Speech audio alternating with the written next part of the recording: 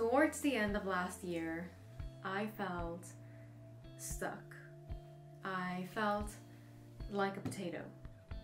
I mean, I like potatoes, but I don't like feeling like one.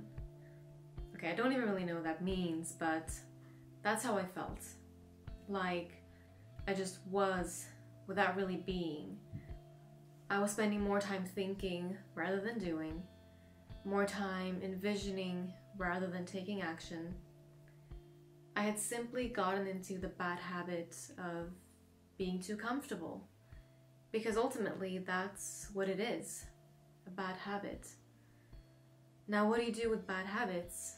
You break out of them and try to build good ones instead. So that's exactly what I decided to do.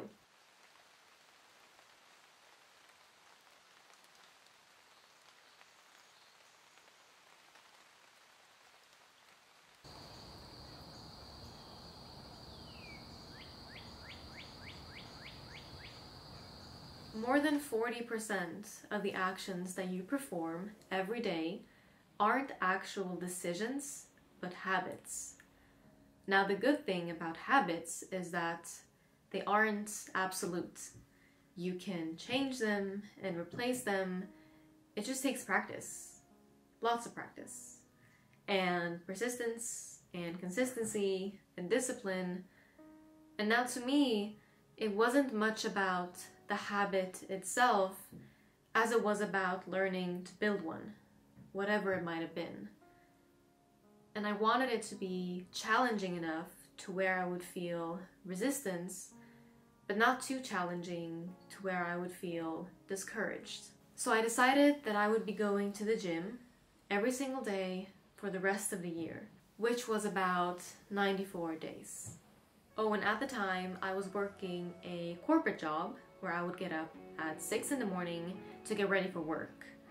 But I knew I wanted to get my workouts in before work, so I started getting up at around 4:45 instead.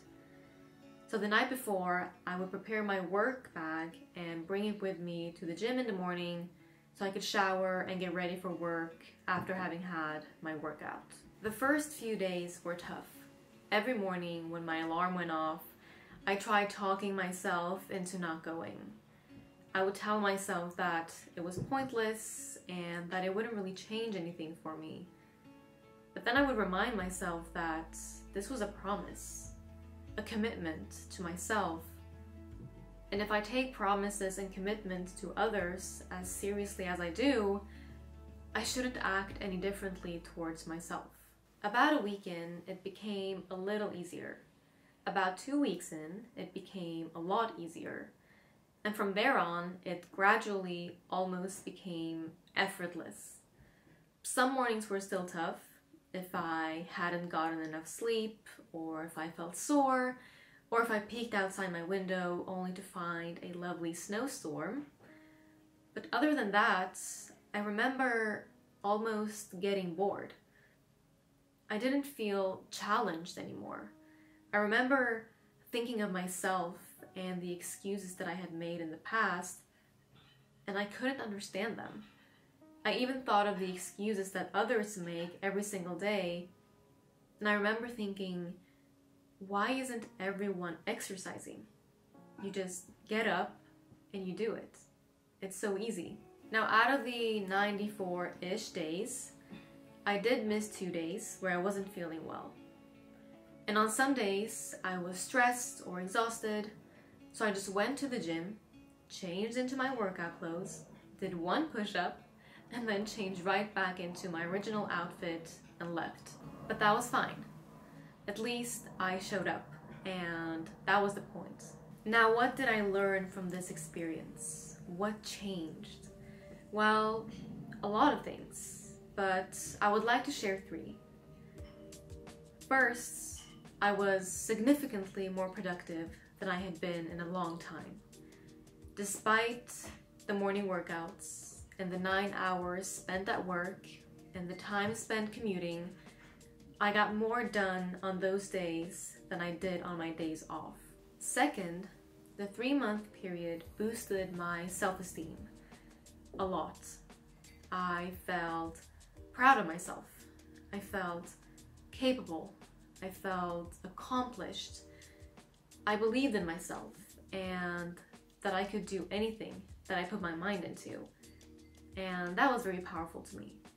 Third, I learned that, well, unfortunately, three months isn't enough to change one's life forever. And the benefits don't last for too long once you stop. Good habits need to be practiced and maintained. Now, I'm not saying that I should have kept going to the gym every single day, but I would have to find another way to keep challenging myself. And I'm still figuring out what that could be for me today. Now, I highly encourage everyone to do something similar to what I did. It doesn't have to be going to the gym, it could be anything that is essentially good for you. The point really is to practice the art of building a good habit. Now, I would love to hear from you all. What is one bad habit that you would like to break out of? And what is one good habit that you would like to adopt and why?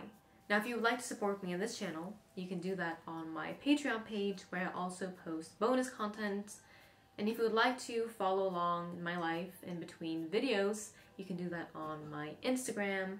But the absolute easiest way to support me is to simply like this video and subscribe to my channel and click the bell notification button. Thank you for watching this video. I will see you in my next one.